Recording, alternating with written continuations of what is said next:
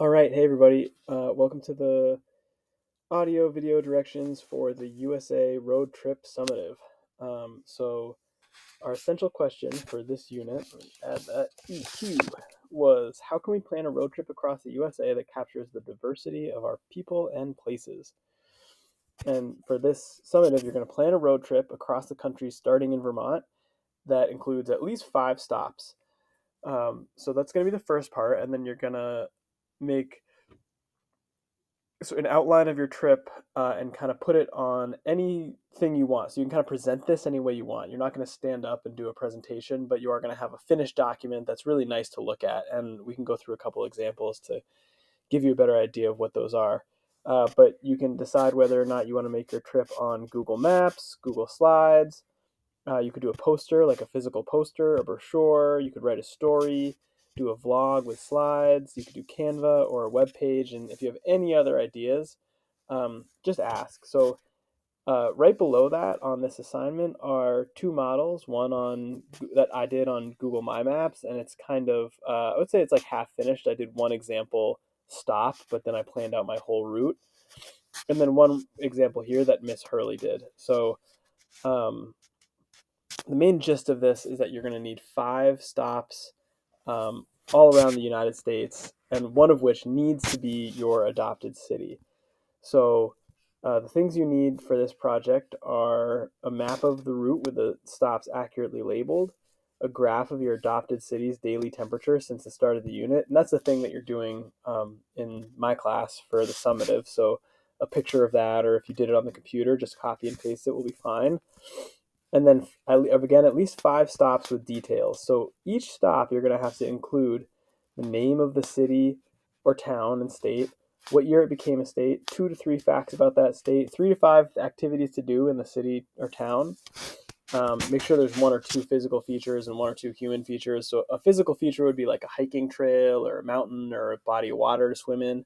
And then a human feature might be like a place to go see a baseball game or a restaurant you'd like to eat at and then the extension there would be add add a couple sentences about what each activity is, and then a couple images uh, about where your uh, about that stop.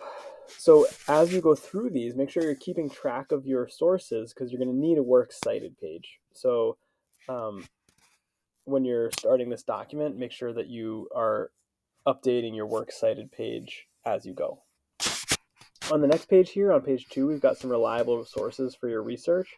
So as you think of places, then you can figure out um, you can figure out facts about them or things to do using Lonely Planet um, or visit the USA USA road trip ideas. Here's some another place. The National Geographic is a great place to find information about each state. In Miss Norwood's classroom atlases, sometimes it's just helpful to look for a big um, to look through a, a big map or you, and you can always go back to WeatherSpark if you want to get some climate data. Um, so the first thing everybody's going to do is go to Google Maps and start a route, um, and plan your road trip uh, using this table. So the first thing I would do is figure out your five stops. So everybody's going to start in whatever town you live in Vermont, so one of the five towns, and then you're going to write down your first stop. So say my first stop was say, well, say I live in Lincoln, so this is my V2 and my first stop is going to be, um, let's say I want to go to Boston, Mass. So the next thing I would do, and I can't show you because I'm kind of locked into this tab, but is I was open up Google Maps and um, and figure out how many miles and how many hours it takes between Lincoln and Boston, and then I'd write that down. And uh, the next thing I would do is go through and find, uh, start finding some fun facts about Boston, Massachusetts. Figure out when Massachusetts became a state. Um, figure out what human features and physical features are there that I want to do. So um, you're going to do that, and then you're going to keep doing that for each place. Um, so that is a certainly enough to get started, right? That's a lot of information for five different stops.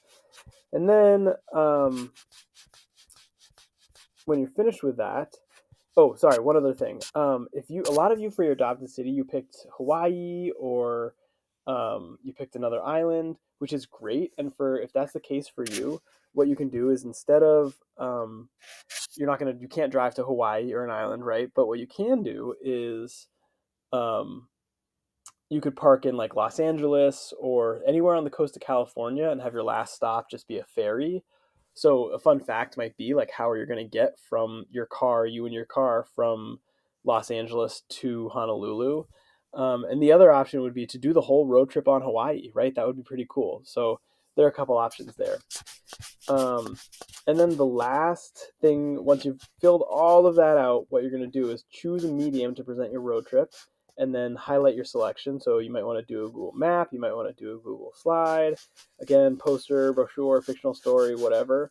Um, and then highlight it.